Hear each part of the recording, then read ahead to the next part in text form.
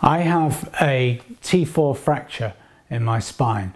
T stands for thoracic and it's one of the vertebrae that's directly opposite my chest. And that fracture means that I've got very little feeling and no control over most of my body below the fracture line. The care I've received at the um, Spinal Injuries Centre has been mostly around getting me to be independent. And to start with, I had very little um, movement in my right arm and um, everything was extremely weak. All my muscles had lost their strength. I'd lost a certain amount of muscle mass um, and I could do very little for myself. The Spinal Injury Centre staff therefore did an awful lot of things for me, but from the first day were encouraging me to try and do things myself and telling me how to do them.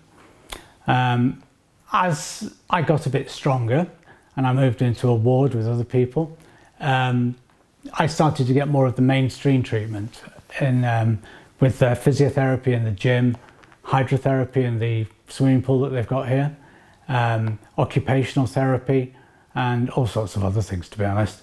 Um, they try out a lot of things to see what works for you and stick with it when it seems to be working. And um, consequently, I've got a lot more strength back in my shoulder, this side, for example, and my right hand um, is now in much better shape than it was when I arrived. It was unusable then, but now I can do all sorts of things with it. I'm still receiving a lot of the same treatments that I was initially, but more of it, and it's more intensive. The, the physiotherapy is really aimed at trying to give me better strength in my joints, in my muscles, and the final objective is really to try and get me more independent, more mobile, more able to do things for myself.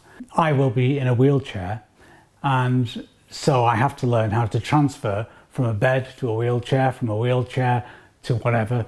And these are the sort of skills that I'll be learning from now on. There's very much a team effort where patients like me are concerned. There are a number of therapists who work with me and we have every three weeks a goal planning meeting. And in the goal planning meeting, we decide what we're trying to achieve for me in the next three weeks. And we have some discussion, obviously, about what the ultimate goals are. Um, it's very useful having this um, and does lead to a more focused effort on the bits that really need work. I'm in a bay with four other patients and um, there's a, there's a lot of joking, a lot of sometimes gallows humour as well, but it's, um, it's a very interesting, instantly formed community when you get shoved together as patients, but you have this common problem of a spinal injury. So we do talk quite often in some detail about our challenges and we try and help each other around that.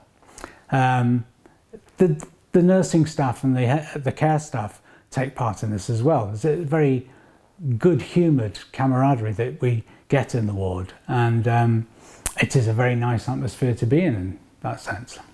I think the other, the only other thing that I have noticed which I think could be improved is um, communication and making appointments, keeping diaries. Um, I think that could be done more electronically. Most people these days have a smartphone, they have a an email address which is linked to a calendar account uh, and they could easily just accept calendar invitations from whoever is organising the schedule of all of the um, therapies. I've had very good medical treatment, very good rehabilitation treatment from some very experienced people and you know what more can you ask for but I, I have really no complaints to make about my time at Stoke Mandeville um, because I think it's been a very fruitful period of time. It really is helping me to recover my life.